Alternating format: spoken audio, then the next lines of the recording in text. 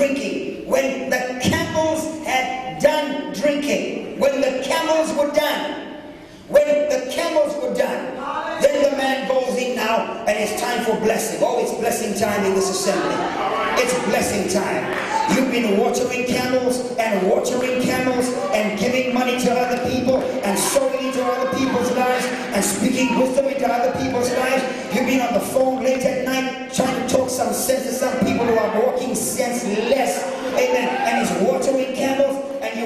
what the H-E double hockey sticks is going on in my life.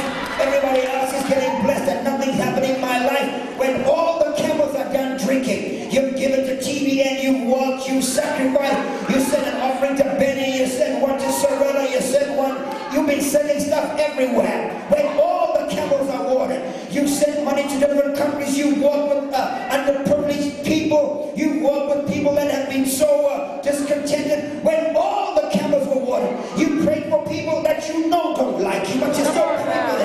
Come on now. When all the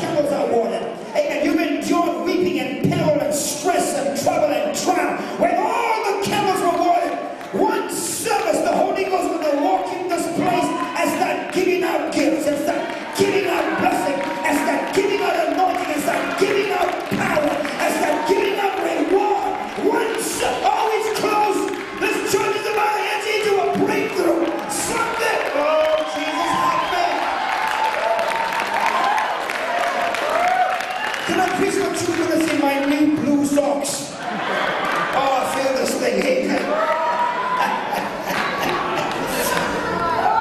he takes out two things, three things. Number one, he takes out a golden earring. It wasn't actually, one version says it was a, a nose ring. Uh, it, it wasn't nose ring, it was her ability to discern a thing, because the nose is the place of discernment. I think it was more of a crown. Not, not as opposed to a nose. I think it was a crown because she was being crowned with something she always carried but never walked in it. Be- Because you can you can have royalty but never been crowned in royalty. You know, you, you can just see people, you, you, you can see a person that's crowned with royalty or anointed with royalty, but it's never ever been made official. I, I went to a Catholic school, and the nun always told me, she said, Tudor, you got a big mouth.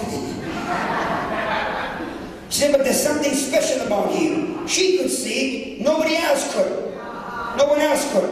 But, but when God begins to, when God officially crowns her, the two things then, He gives her two golden bracelets. Gold is deity in the scripture. So she's given deity in her left hand, okay, which is the spirit of healing, the marriage, the spirit of healing. And the right hand, the spirit of prosperity. So she she goes, she's going home now. Watch me, ladies and gentlemen. She goes to the well as an ordinary church an ordinary ministry, an ordinary girl, look like all the girls in the entire neighborhood. She has a picture like everybody else has. Families waiting at home, and see, in Eastern culture, girls are not supposed to speak to strangers. Well, you're not supposed to speak to strangers here anyway. But especially then, you cover yourself with a burqa and you don't speak to strangers, especially guys that are traveling through. And so she breaks protocol. She's going to speak because death and life is in the power of your tongue. And so when she addresses the situation after the camels belch, watch me carefully, she invites this whole bunch of fellas home, which is totally out of protocol. She has no right to invite anybody home. That's a man's job to do that. In Old Testament days. just at all the college graduate women here just giving me that look and say one. Okay, Oprah, uh, I'm talking about back then, right? Her family, see, when we grew up, when we grew up in some of our settings, they would have all the kids sitting and they'd have like two bowls of, of food. There'd be like the meat and the gravy, and there'd be another bowl with what we call sadza. It's like a hard grits. And all the kids, after we'd washed our hands and got ready for dinner, we'd then take from here, dip in the gravy, and take a piece of meat. See, we all eat together. See, we'd all eat together. And so, uh, in, in those kinds of cultures, they're waiting for, for this water to come so they can get ready to eat. And so they're waiting. And they waiting. And they waiting. And Rebecca's not coming. When they look over their shoulder and they see this girl coming, not only does she have water, but she's wearing a crown. She went an ordinary girl. See, all churches, even the Methodist Church, I don't know so much about the Church of Christ, but Catholic churches and traditional churches, they're all doing songs like we did today. Everybody's doing kumbaya. Everybody's saying hallelujah. Everybody in Africa is beating a tambourine. But the difference is, dig for water and the way you apply it. Now, all the girls are coming back from the well, but Rebecca's coming back with two things. Number one, she's coming back with the higher anointing, crowned for victory. And number two, she's got company behind her. The Holy Spirit, Eliezer, and ten camels loaded with gifts are coming back to the house. I'm telling you, I'm telling you, if you know how to dig this well and you, you manage this well, all kinds of things are going to happen in your life. Don't expect to be banging those 88 keys in the same way you've been doing routinely month after month, year after year. Because when the Holy Spirit starts hitting people and starts crowning you, all kinds of things start happening in your life. Ask Obadiah, your children start getting blessed. Your corn starts growing. Your cows and your sheep start having twins. You can never be the same once you are exposed to this level of gifting. Once your head has tasted gold, it can never go back to wearing a scarf. Once your hands have tasted real gold, you can never go back to wearing a brass ring and shining because you bought it at a Korean store and it looks like gold, Mr. T.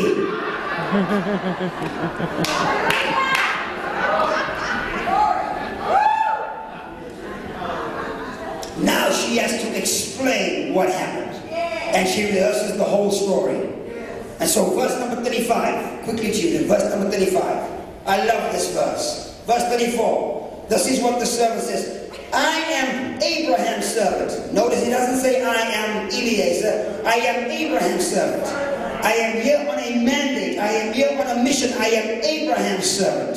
The Holy Spirit has been sent here to represent the Father, been sent here to represent the Most High Estate, sent here to represent God's designated blessing, sent here to represent His preeminence, His power, sent here to represent His force. He has come with many gifts, but they are standing there waiting for somebody to start clicking and ticking.